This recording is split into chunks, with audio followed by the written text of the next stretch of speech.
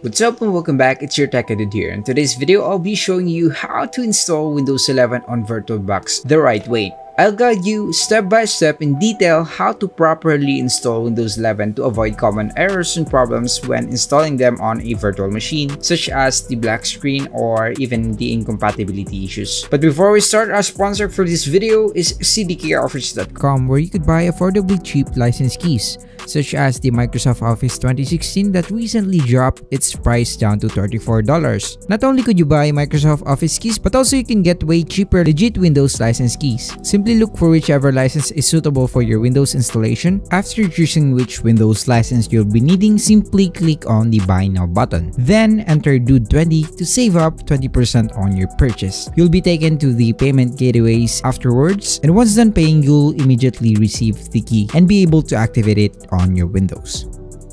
Going back, I won't be giving you directly the link for this leaked ISO or early release ISO of Windows 11 as I don't want Microsoft to be mad at me for doing so or copyright issues. So if you happen to grab one of these Windows 11 ISO files or if you're watching this video by the time Windows 11 is already officially released, hopefully I can share with you the right way to install Windows 11 on a VirtualBox machine. Alright, assuming you already have the Windows 11 ISO file, let's now start and go to our desktop. Now that we are on our desktop, we can now go ahead and locate first the ISO file of Windows 11. So I have my ISO file located on my local disk C, which is the Windows 11 installer. Can now go ahead and minimize this window first and go ahead and open up our VirtualBox. In our VirtualBox, we need to make sure that we are using the latest version of VirtualBox. So I'm using the latest version 6.1 as of the making of this video. Can now go ahead and close this one once we are sure that we are using the latest version and then we can go ahead and click on the new button right here and then name your virtual machine and then on the version, as of this version, there's no Windows 11 option right here. So go ahead and select the Windows 10 64-bit edition. Go ahead and click on the next button and then set the recommended memory size to 4000 or 4 gigabytes of memory and then click on the next button and then just simply create and then set this one to the uh, VirtualBox disk image. Select the dynamically allocated feature and then click on the next button set this one to 50 gigabytes of storage and then simply click the create button. Okay, now go ahead and go to the settings. Before we start, we need to attach the ISO file of Windows 11. So go ahead and go to the storage. Under this optical drive, click the button right here and click on the choose a disk file. Then go to the local disk C. In my case, I have the Windows 11 installer right here click on the open and then it will be attached on your virtual machine. However, we cannot start yet our machine as we need to still go to the system and make sure under the processor we need to allocate this machine to have at least two CPUs or processor. Otherwise, you'll be shown with the incompatible error upon installation. Once done, hit the OK button and then start the virtual machine. Once you're shown this, press any key to boot, simply click any on your keyboard.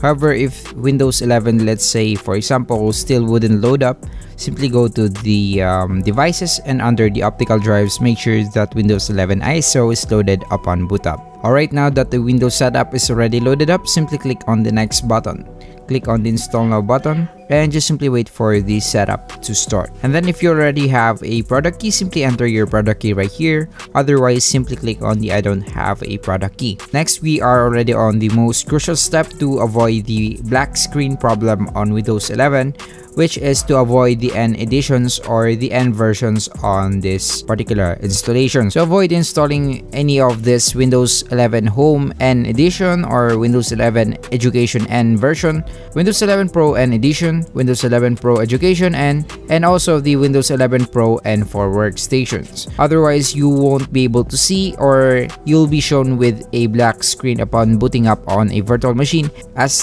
these Windows 11 N editions are only loaded with the basic drivers and services, hence you might be encountering some issues later on upon booting up your operating system on VirtualBox. So let's say we're going to install Windows 11 Pro, so select the Windows 11 Pro rather than the N edition. hit the next button, accept the license agreement. So since we're going to install a fresh Windows 11 installation, we're going to select this custom install then click on the new button and hit the apply button. Hit the ok button and you could either format this drive or basically go to the next step. It will now begin installing your windows 11 or operating system and you won't be encountering any system requirement issues especially if you follow the steps a while ago. Just simply wait for this to finish and you'll be able to get a working windows 11 on your virtualbox Hopefully you're now able to get Windows 11 up and running on VirtualBox. Feel free to leave your comments and feedbacks on the comment section down below. Also, I would appreciate it if you could hit that like and subscribe button to get more helpful tech stuff in the future. It's your Techy Dood here. See you in my next videos.